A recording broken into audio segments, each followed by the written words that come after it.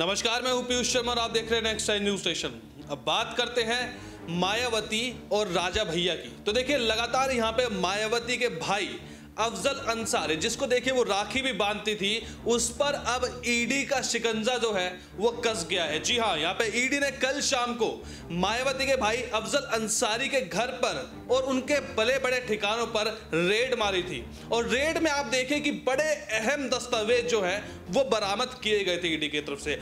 अब देखिए कि यहाँ पे जो राजा भैया और योगी आदित्यनाथ हैं उनके कहे पर यहाँ पे जो डिस्ट्रिक्ट एडमिनिस्ट्रेशन है, यानी कि जिला प्रशासन है, उन्होंने अब 12 करोड़ रुपए के, अफजल अंसारी के 12 करोड़ रुपए के जो पूरा दस्तावेज़ हैं और साथ ही पैसे हैं, जो उनकी संपत्ति है, वो कुर्क कर ली है। जी हाँ यहाँ पे देखिए, बड़ी खबर यही निकल के आ रही है कि जो मायावती के भाई है, जो मुँह बोले भाई अफजल अंसारी, उनकी जो 12 करोड़ की प्रॉपर्टी है, वो जब्त कर ली गई है। योगी का जो डंडा है, वो चल गया है और बुलडोजर भी यानी कि उनकी जो अचल संपत्ति है, जो उनके घर है, कारोबार है, जो उनका फार्म हाउस है, उन पर अब देखिए कि बुलडोजर चलना लगभग लगभग तय हो चुका है और अब ईडी देखिए कि उनकी जो बहनें हैं तीन बहनें हैं अफजल अंसारी की और उनकी जो पत्नी है, उनकी पत्नी के नाम पर जो संपत्ति है, उसको भी कुर्क करने की देखिए पूरे रवायत में लग गई है। यहाँ पे अपने ड्राफ्ट बना रही है, दस्तावेज़ जुटा रही है उनके खिलाफ और जितने भी यहाँ पे उनके संपर्क हैं, यानी कि उनके जो साथी है, उनको भी देखिए इसमें ईडी में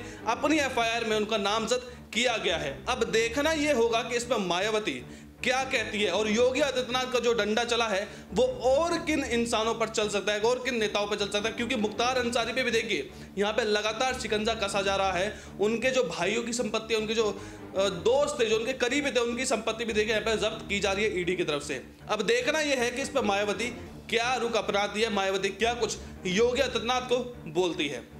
अगर ये वीडियो आपको अच्छे लगे तो इस वीडियो को लाइक कीजिए, शेयर कीजिए, हमारे चैनल सब्सक्राइब कीजिए। तब तक आप देखते रहिए नेक्स्ट टाइम न्यूज़ नेशन।